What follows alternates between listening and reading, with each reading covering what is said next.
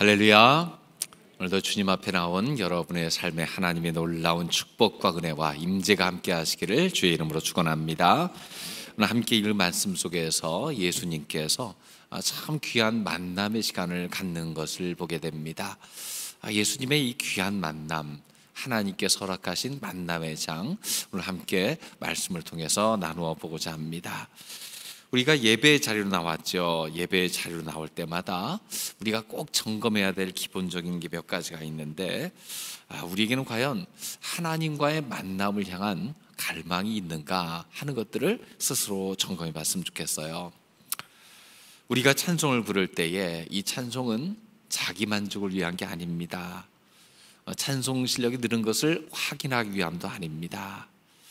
하나님 앞에 내 마음을 표현하는 것이고 하나님께서 그 마음을 받아주시기 원하여 하나님 앞에 정성을 다하는 거죠. 설교를 들 때도 그렇습니다. 이 설교는 설교자의 지식 자랑도 아니고 청중의 지적 만족을 위한 것도 아닙니다. 하나님이 하신 일을 다시 한번 다시 한번 우리가 살펴보면서 그 하나님 지금도 우리 가운데 나타나시고 말씀하시고 그 하나님을 경험하고 싶습니다 하는 하나님에 향한 기대가 모여지는 시간입니다. 기도도 마찬가지입니다. 이것을 주세요, 저거 주세요, 욕심을 채우는 시간이 아니라 하나님의 뜻이 무엇인가 분별케 하시고 그 분별한 대로 행할 힘을 달라고 하나님 앞에 간구하는 결단의 시간인 줄로 믿습니다. 그래서 예배가 은혜 가운데 이루어지게 되면 우리 영적으로도 만족함이 있고 우리 삶에도 건강한 결단이 있게 됩니다. 예배는 하나님 향한 거룩한 갈망의 표현이지요. 목마른 사슴이 물을 찾아 헤매는 것처럼 하나님을 향해서 하나님의 모습을 찾을 때에 우리는 주님과의 만남 속에서 새로운 은혜를 경험하게 될 줄로 믿습니다. 우리 늘 기억해야 돼요. 하나님만이 나에게 생명을 주시고 내 갈급함을 채워줄 수 있고 나의 막막함에 희망의 빛을 비출 수 있는 분이시다. 그걸 깨달아야 될 줄로 믿습니다. 오늘 본문에서 만나는 예수님도 또 예수님과 함께 만난 사람들도 잘 보면 참 세상의 어려운 형편, 눌림받는 처지, 의지할 데 없는 현실 속에서 주님과의 만남 속에서 새로운 자유를 얻은 경험이 있는 사람들이에요. 예수님께서 정말로 그 중요한 시점에서 만난 모세와 엘리야 그들은 어떤 사람이었습니까? 먼저 이 모세가 만난 하나님을 함께 잠시 나누어 보자 합니다. 구약 성경에서 모세만큼 큰 인물을 찾아보기 힘듭니다. 구약 시대를 시작하는 다섯 권의 책을 저술한 인물로 알려져 있고 하나님의 통치 원리인 율법을 받아서 이스라엘 백성 전체에게 전해준 사람입니다. 이스라엘 백성을 애굽에서 인도해내어 약속의 땅으로 이끈 광야의 위대한 지도자이고요. 생명이 없는 황량한 광야에서 정말로 2, 300만의 사람들을 이끌고 그들을 약속한 땅까지 이끈 위대한 리더십의 전형과 같은 사람이죠.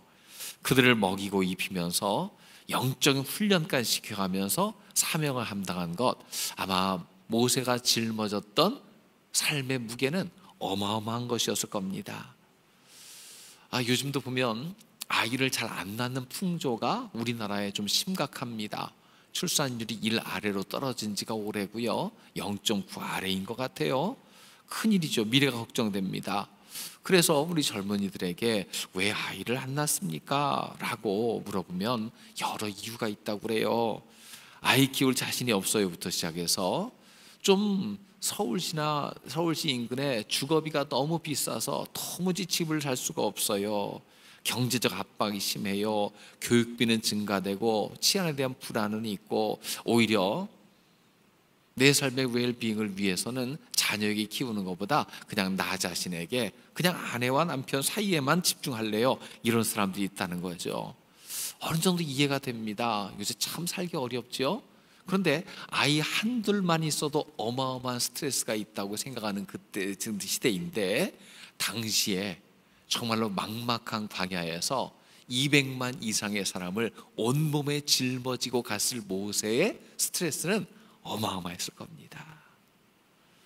거기다 훈련도 안 된 백성들이에요. 수시로 원망과 불평이 그들에게 쏟아집니다. 모세와 아론은 매우 힘들었어요. 출애굽기 16장 3절에 보면요. 어떤 이야기가 나옵니까? 같이 읽어봅니다. 이스라엘 자손이 그들에게 이르되 우리가 애굽 땅에서 고기 가마 곁에 앉아 있던 때와 떡을 배불리 먹던 때 여호와의 손에 죽었더라면 원망한 말이죠. 이 광야로 인도해내어 회중을 굶어 죽게 한다.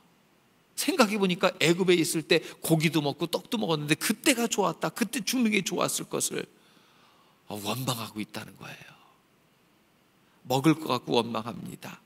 17장 3절에 보면 또 어떻습니까? 같이 읽어봅니다. 거기서 백성이 목이 말라 물을 찾음에 그들이 모세에게 대하여 원망하여 이르되 당신이 어찌하여 우리를 애굽에서 인도해 내어서 우리와 우리 자녀와 우리 가축이 목말라 죽게 하느냐 목말라 죽겠다는 거예요. 먹는 것, 마시는 것 하나하나가 너무 힘들다고 호소하고 있습니다. 아니 하나님께서 은혜를 베푸셔서 베푸셔서 기적처럼 먹고 살아도 그 다음 날 또 먹을 것이 필요합니다. 그때마다 모세는 어떻게 합니까? 하나님 앞에 섭니다. 하나님 앞에 백성의 이야기를 그대로 이야기합니다. 그리고 하나님의 공급을 경험합니다. 만나가 내리고 메추라기 고기를 먹었고 반석을 향하여 조명할 때 물이 나왔습니다. 그때 하나님께서 그들의 필요를 공급하시는 분임을 깨달았을 줄로 믿습니다. 자, 광야 생활이 지나면서 하나님께서 이 광야에서도 먹을 것을 공급해 주시는구나. 살 수 있게 해 주시는구나. 아, 그러면은요. 그것을 경험하면 그 은혜에 감사하며 만족하며 주를 따라가야 되잖아요. 이제 그것이 좀 의식주가 채워지고 나니까 그들은 새로운 종류의 문제를 쏟아냅니다. 새로운 원망이 생겨요. 뭐냐면요. 모세의 지도력에 대한 원망이에요. 민수기 16장 3절에 보면 그들이 어떤 소리를 하고 있습니까? 같이 읽습니다. 그들이 모여서 모세와 아론을 거슬러 그들에게 이르되 너희가 분수에 지나도다 회중이 다 각각 거룩하고 여호와께서 그들 중에 계시거늘 너희가 어찌하여 여호와의 총회 위에 스스로 높이느냐? 참 그들이 어떻습니까? 먹고 살만하니까 이제 지도력을 걸고 넘어져요. 우리도 하나님 안다 너만 아냐? 왜 네가 스스로 높이느냐? 하나님께서 택하신 지도자에 대해서 불만을 표시하고 있습니다. 참 훈련 안 되고 불만투성이의 백성들이죠. 이 백성을 데리고 광야를 가는 모세 어떻게 그 문제를 이겨냈겠습니까? 결론은 무엇입니까? 하나님과의 친밀한 만남이 이 모든 문제를 이고 승리하게 한 줄로 믿습니다. 하나님과의 만남 속에서 새 힘을 얻었어요. 출애기 33장 11절을 보내보면 모세의 일상을 그렇게 표현하고 있습니다. 같이 읽습니다. 사람이 자기의 친구와 이야기함 같이 여호와께서는 모세와 대면하여 말씀하시며 모세는 진으로 돌아오나 눈의 아들 젊은 수종자 여호수아는 회막을 떠나지 아니하니라. 모세는 회막으로 갔고요. 회막 안에서 하나님의 임재 가운데 그분과 만나고 대화하고 힘을 얻은 줄로 믿습니다. 우리가 지칠 때마다 어려울 때마다 우리가 찾아야 될 것은 무엇입니까? 하나님 앞에 나와야 될 줄로 믿습니다. 예배 자리는 주님과 만나 새 힘을 얻는 자리입니다. 하나님 앞에 내 문제를 쏟아내고 주님의 지혜를 경험하는 시간입니다. 갈 길 몰라 헤매일 때에 하나님께서 인도하시는 인도를 받는 자리인 줄로 믿습니다. 모세는 친구처럼 하나님과 대화했어요. 그의 수종 여우수아는 회망을 떠나지 않고 그 임재 아래 있는 것에 만족하고 있었지만 모세는 그 안에 깊숙이 들어가서 하나님과의 친밀한 교제 속에서 하나님의 마음을 알고 고민을 나누고 위로를 받았습니다. 그것이 없었다면 그 수백만의 사람들이 쏟아내는 원망 속에서 그는 스트레스 속에서 아마 우울증 걸려서 더 이상 견디지 못했을지 몰라요. 하지만 하나님과의 만남이 있었습니다. 우리가 가는 길에 항상 동행해 주세요. 친히 함께 해 주세요. 하나님이 함께 하셔야 우리가 갈 수 있습니다. 늘 하나님과 동행하기를 소원하며 주님 앞에 나간 줄로 믿습니다.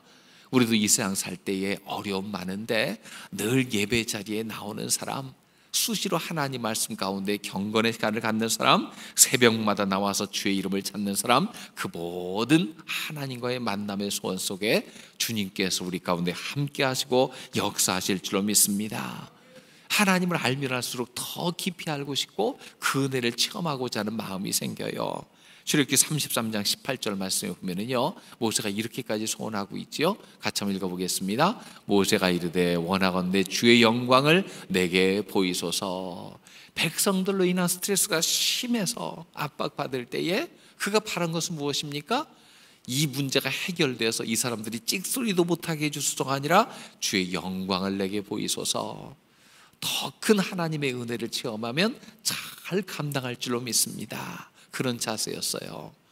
우리도 내게 닥쳐진 압박감, 무게들이 참 많을 겁니다. 이 숙제 지나면 다음 숙제가 다가오고요. 이 과제 처리하면 그 다음 과제가 다가옵니다. 저도 목회하면서도 그렇지만 우리 어, 그 교단과 총회 일들을 조금씩 돌보면서 아 이거 잘 해결했으니까 됐겠지 하면 그 다음이 다가와요. 그 다음이 다가와요. 그럴 때마다 아이 저는 교회도 감당하기 힘든데 왜 자꾸 이런 일을 하게 하시나요? 그럴 때가 종종 있어요. 그때마다 생각나는 것이 모세입니다. 모세는 그럴 때마다 문제 갖고 씨름한 것이 아니라 하나님 앞에 나가서 주님의 영광을 구했습니다. 우리도 하나님의 은혜를 더 깊이 체험해서 어떤 일이든지 잘 감당할 만한 능력 있는 신앙이 되시기를 주의 이름으로 축원합니다. 또 예수님 만났던 또 한 분 모세는 어떤 사람입니까? 모세와 함께 만났던 엘리야는 어떤 사람입니까? 엘리야도 참 비슷한 처지 가운데 있었죠. 엘리야는 모세가 율법을 대표하는 것처럼 선지자를 대표하는 인물입니다. 성경에 나오는 온 율법과 선지자의 뭐 이런 말씀 뭘 얘기하냐면요. 그 율법은 모세를 통해 주어진 것이고 선지자의 대표는 엘리야라고 생각했어요. 하나님의 음성 듣고 그 시대를 향한 뜻을 선포하는 기름 부음 받은 중요한 직책 바로 엘리야였습니다. 모세가 광야의 척박한 시대를 살았듯이 엘리야는요 이스라엘 역사상 가장 어두운 시대를 온몸으로 짊어지고 살았어요. 당시 북이스라엘에 아합 왕이 있었는데 나라의 영적 기반을 뒤집어 엎었습니다. 왜냐면요 아합이 시돈 왕의 딸 이세벨을 왕비로 맞았는데 이세벨이라는 여자는요 바알의 여선지자 같은 사람이었어요. 바알을 심하게 섬기는 죄악을 저질렀고 그 죄를 이스라엘 가운데 끌고 들어왔습니다. 열왕기상 16장 31절은 이렇게 표현하고 있습니다. 같이 읽습니다. 느바세 아들 여로보암의 죄를 따라 행하는 것을 오히려 가볍게 여기며 시돈 사람의 왕 엣바알의 딸 이세벨을 아내로 삼고 가서 바알을 섬겨 예배하고 자 이게 바로 지금 나와 있는 아방에 대해서 묘사하고 있는 건데 여로보암의 죄를 따라 행하는 것을 가볍게 여기고 여로보암이 어떤 죄를 지었습니까? 하나님 섬기는 것을 이상하게 바꿔서 금송아지를 하나님이라고 부르라고 하고 거짓 제사장을 세워서 하나님 섬기는 종교를 타락시켰습니다. 근데 그것을 가볍게 여기고 오히려 바알을 섬기는 사람들을 아내로 삼아서 바알 신앙을 이스라엘에 이식시켰다는 거예요. 왕이 하나님을 두려워하지 않아요. 우상을 앞장서서 섬겨요. 혼합 종교. 하나님 이름을 부르지만 그 이름을 받는 사람은 금송아지였고 이제 바알 신앙까지 들어와서 이스라엘 전체의 영적인 것을 혼돈시켰습니다. 그렇게 되니까 그 시대가 어떻게 됩니까? 하나님 말씀을 망각하고 방자히 행하는 시대가 됩니다. 그 시대, 시대 시대상을 한, 한마디로 어떻게 그려졌냐면요. 16장 34절에 보면은요. 그때 베들 사람 히엘이라는 사람이 있었는데 여리고를 건축했다고 나왔어요. 지금까지 이스라엘 백성이 가나안 땅을 차지한 이후로 어느 누구도 여리고를 건축할 생각을 못 했어요. 왜냐하면요. 하나님께서 여호수아를 통해서 하신 말씀이 있었거든요. 이 성을 건축하려고 시도하는 자는 그의 집안이 아들이 침을 당해 죽게 된다. 그런데 그때 하나님을 망각한 시대가 되니까요. 여기 여리고 땅이 참 요지거든요. 성 세우기 딱 좋은 곳이거든요. 그러니까 그것을 세우고자 하는 자가 나옵니다. 그가 성을 세울 때에 맏아들이 막내 아들이 죽습니다. 그럼에도 그런 것을 두려워하지 않고 행하는 시대, 즉 하나님을 망각한 시대였어요. 망각 정도가 아닙니다. 오히려 하나님을 섬기는 선자들을 색출해서 다 죽였다고 생각할 만큼 박해가 심했습니다. 엘리야는 그 시대를 살아갔어요. 그 핍박 중에서 겨우 살아남았습니다. 도망치며 은둔할 만한데 하나님은 그에게 말씀하십니다. 그래서 뭐라고 선포했냐면요. 내 말이 있기 전에 이 땅에 3년 동안 우로가 없으리라. 비만 그치는 것이 아니라 이슬도 없다는 얘기예요. 낮밤의 기온차가 차이가 없어서 이슬도 없는 날씨가 될 거라는 거예요. 결국 그 시대가 곤고하여 망할 지경까지 이르게 되죠. 때가 되어서 엘리야가 나타나서 갈멜산에서 영적 전투를 통해서 그 시대를 뒤바꾸려고 합니다. 하나님의 살아계신 선포됩니다.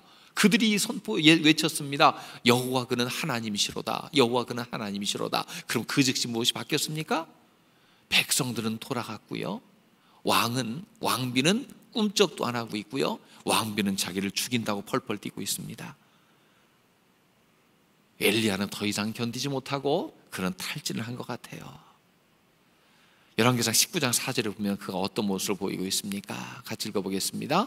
자기 자신은 광야로 들어가 하루 길쯤 가서 한 로뎀 나무 아래 앉아 자기가 죽기를 원하여 이르되 여호와여 넉넉하오니 지금 내 생명을 거두시옵소서 나는 내 조상들보다 낫지 못하니이다 하고 사역에 지쳤습니다. 힘든 가운데 하나님 앞에 나를 죽여주세요. 그렇게 얘기하고 있어요. 하나님의 처방전은 무엇입니까? 하나님께서 그를 다시금 능력 있게 만나 주신 줄로 믿습니다. 호렙산에서 만나 주십니다. 능력 있게 만나 주신 하나님 어떤 모습 만나 주십니까? 그가 불을 일으켰듯이 강력하게 만나 주시는 것이 아니었어요. 열왕기상 19장 11절 12절에 보면 하나님이 어떻게 만나십니까? 같이 읽어보겠습니다. 여호와께서 이르시되 너는 나가서 여호와의 앞에서 산에 서라 하시더니 여호와께서 지나가시는데 여호와 앞에 크고 강한 바람이 산을 가르고 바위를 부서나 바람 가운데 여호와께서 계시지 아니하며 바람 후에 지진이 있으나 지진 가운데도 여호와께서 계시지 아니하며 또 지진 후에 불이 있으나 불 가운데도 여호와께서 계시지 아니하시더니 후에 세미한 소리가 있는지라 아마 그런 생각했을지 모르겠어요. 불을 일으키고 바람이 일으키고 기적과 큰 능력을 보면 이스라엘 백성이 돌아오겠지 생각했는지 모릅니다. 근데 그 가운데 하나님이 계시지 않았어요. 근데 그 이후에 세미한 바람 속 속에서 작은 소리로 하나님께서 말씀하고 계시는 걸 들었습니다. 하나님이 능력과 영광을 보여주신 후에 그에게 말씀하세요. 지금 선자에게 필요한 것은요, 큰 능력과 백성들이 깜짝 놀랄 만한 기적이 아니라 지극히 작지만 하나님의 음성을 다시 한번 듣는 것이었습니다. 그럼 위대한 선자에게만 이런 체험이 필요합니까? 우리에게도 동일하게 필요합니다. 우리도 하나님 만나고 하나님께서 힘을 얻고 세상을 견디고 이겨낼 만한 능력을 우리는 얻어야 됩니다. 어린 신자일 때는요, 하나님의 공급하심에 대한 체험과 확신이 중요해요. 그때는 하나님의 손을 기대합니다. 주님의 손에 무엇이 있는가? 먹을 것, 마실 것, 이런 것이 있겠지. 그게 필요해요. 어릴 땐 꼭 필요하지요? 하지만 자라고 성숙해지면 하나님의 공급만이 아니라 하나님과의 만남의 경험이 필요합니다. 지금도 살아계신 하나님을 우리 예배를 통해서 우리 삶을 통해서 만나는 저와 여러분 되시길 주의 이름으로 축원합니다. 그러다 신앙의 경지가 원숙해지고 좀 더 성숙해지면 어떻습니까? 하나님의 얼굴만 봐도 좋습니다. 하나님만 있으면 됩니다. 왜냐하면 깨달았거든요. 하나님만 계시면 하나님이 때에 따라 필요한 것을 그 손으로 공급해 주십니다. 나와 함께 해 주십니다. 엘리야는 원숙한 신앙이 이르렀어요. 하나님이 그와 함께 하심을 깨닫길 원했습니다. 아무것도 없어도 그 음성 듣고 그의 날개 아래 사는 것이 나는 촉합니다. 아마 고백했을 거예요. 하나님은 나의 쓸 것을 공급해 주시는 뿐만 아니라 나와 함께 하시며 그 얼굴을 비춰 주셔서 그분의 은혜 가운데 살게 하시는 분인 줄로 믿습니다. 엘리야가 만난 하나님, 나의 하나님으로 경험하는 저 여러분 되시기를 주의 이름으로 축원합니다. 그래서 예수님도 지금 굉장히 곤고한 중에 처했거든요. 왜 그렇습니까? 예수님은 십자가를 눈앞에 두고 있었어요. 모세와 엘리야가 졌던 짐보다도 훨씬 큰 온 인류의 모든 죄악을 지고 십자가를 지실 바로 그 자리였어요. 그래서 하나님은 예수님에게 모세와 엘리야를 보내 주셔서 그 위기를 잘 견뎌낼 수 있도록 격려하고 위로해 주시는 줄로 믿습니다.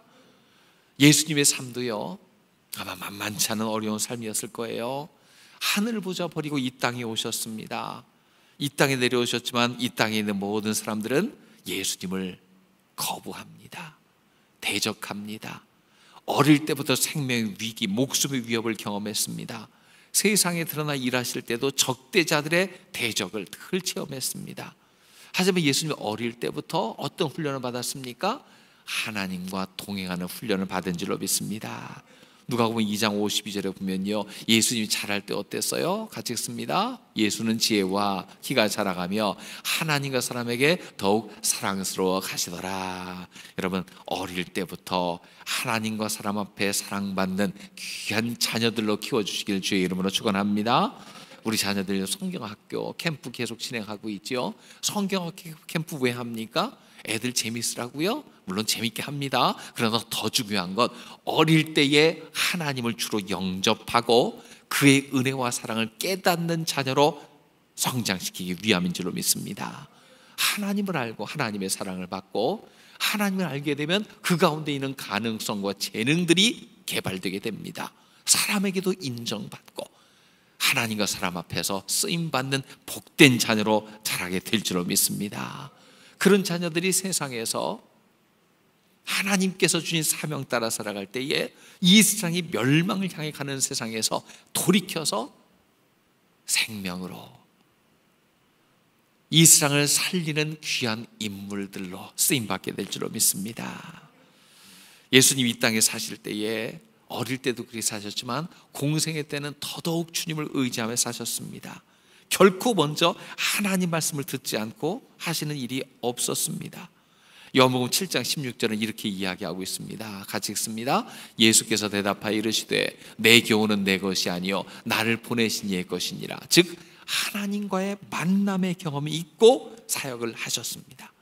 늘 새벽 미명에 깨어서 하나님과 깊은 대화, 친밀한 만남을 가지셨습니다. 공급받으셨어요.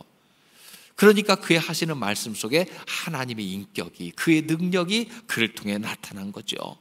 요한복음 8장 29절은 또 이렇게도 소개하고 있습니다. 같이 읽습니다. 나를 보내시니가 나와 함께 하시도다. 나는 항상 그가 기뻐하시는 일을 행함으로 나를 혼자 두지 아니하셨느니라. 늘 하나님과 동행하셨기에 하나님의 능력이 나타났고 하나님의 기름 부음이 있었기에 주변 사람들에게 그 기름이 흘러갔고 또 늘 주님과 동행하며 역사하셨기에 기적이 나타나는 삶을 사신 줄로 믿습니다. 우린 반론해요. 아, 예수님이니까 그렇지요. 하나님의 아들신데요. 당연하다 생각합니까? 아닙니다. 예수님은 우리보다 더 못한 환경 가운데 사셨잖아요. 식민지배 가운데 천대받는 지역에서 가난한 삶으로 누구 하나 인정할 것 없는 삶을 사셨습니다. 하지만 그 속에서 주님과 동행하며 하나님의 뜻 따라 사실 때에 하나님의 때에 가장 귀중한 십자가의 사명자로 쓰임 받은 줄로 믿습니다. 예수님은요 그렇게 사실 때에 마지막 사명의 십자가를 앞에 두고 아마 마음이 무거우셨을 것 같아요. 예수님이 그 사명을 피해가지 못하도록 아마 미리 제자들에게 못 박아 두시기도 하셨습니다. 누가복음 9장 23절에 보면요. 뭐라고 말씀하셨습니까? 같이 읽습니다. 또 우리에게 이르시되 아무든지 나를 따라오려거든 자기를 부인하고 날마다 제 십자가를 지고 나를 따를 것이니라. 예수님이 최후의 사명이 십자가를 아셨거든요. 그래서 십자가 지시기 전에 미리 제자들에게 자기를 부인하고 십자가를 쳐야 된다. 이렇게 가르치셨어요.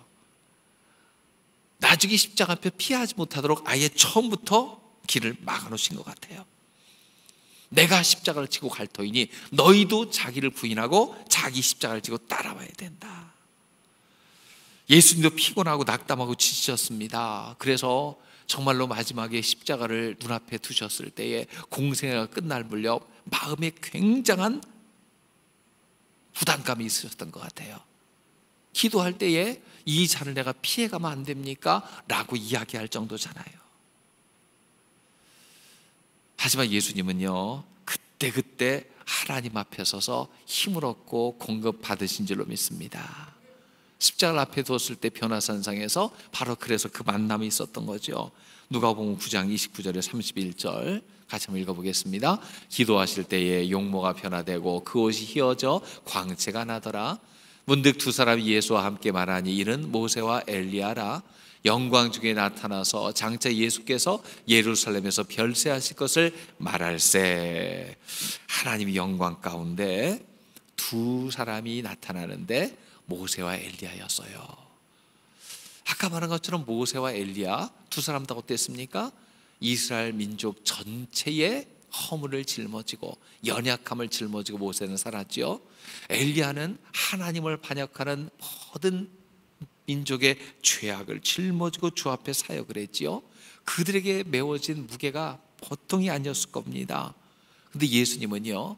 이스라엘 전체가 아니라 이전까지 온 인류 앞으로 나타날 모든 세대의 죄악의 짐을 지고 하나님 앞에 나가는 중에 있습니다. 두 사람이 자기의 경험을 이야기하면서 예수님이 나타나서 그 별세할 것을 말씀하시면서 나는 이렇게 이겨냈습니다 하고 이야기하면서 격려하지 않았을까요? 그 예수님에게 나타났던 그 두 사람의 격려가 지금도 주님을 찾고 갈망하는 모든 사람에게 임할 줄로 믿습니다. 예수님처럼 하나님의 영광에 달려가는 모든 사람에게 나타나서 말씀을 들려주시고 그에게 힘을 더해 주실 줄로 믿습니다. 우리 신앙은 어떻습니까? 그냥 예수 믿고 구원받고 복 받으면 되지. 아직 어린아이의 신앙 아닙니까? 하나님의 손만 바라보고 있지는 않습니까? 주세요, 복 주세요, 응답해 주세요만 되뇌고 있지는 않습니까? 우리가 좀더 잘해야 될 줄로 믿습니다. 아이들은 아빠의 손에 들려진 선물만 기대하지만 자라고 나면요 아빠의 얼굴을 바라봅니다. 얼마나 피곤한지를 생각합니다. 그분이 하신 일에 대해서 감사를 표현할 줄 압니다. 그리고 나중에는 어떻습니까? 그 아버지가 계신 것만으로도 만족하는 철든 아들이 되는 거지요. 우리가 섬기는 아버지는 어떤 분입니까? 날이 갈수록 쇠해가는 분이 아니라 영원토록 변함없이 우리 가운데 함께 하시며 능력 주시는 분인 줄 믿습니다. 그 하나님의 손이 아니라 하나님의 얼굴을 기대하며 그 영광을 바라볼 때에 주님의 손으로 나오는 모든 것은 덤으로 주어질 줄로 믿습니다. 하나님 한 분만으로 만족하며 그분과의 동행을 구할 때에 우리 인생의 모든 무거운 짐들도 내 어깨에 메어 있는 모든 스트레스도 주님께서 대신하여 져 주실 줄로 믿습니다. 주님 앞에 모든 문제를 맡기고 주님이 함께 하실 때 나에게 주어진 모든 사명도 넉넉히 감당하며 승리하는 주님의 자녀가 될 줄로 믿습니다. 이 주님을 바라보며 주님께서 함께 하신 것처럼 예수님이 주님과의 친밀한 관계 속에서 능력을 얻어 사신 것처럼 우리에 닥쳐진 모든 상 가운데서도 주님과의 친밀함 속에 새로운 은혜와 능력을 경험하는 우리 모두가 되시기를 주의 이름으로 축원합니다.